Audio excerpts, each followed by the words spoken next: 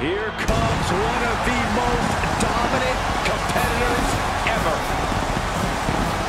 Breathing fire and raining destruction like a dragon. A focused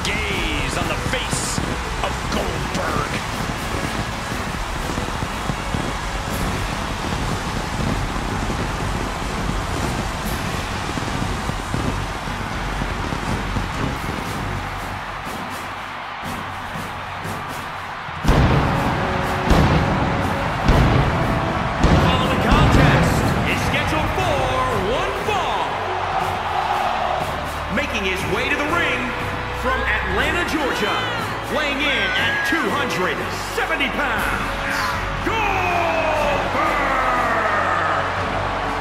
The showcase of the Immortals is the perfect stage for a man who seemingly feels no pain. Disregard the first part of the name WrestleMania.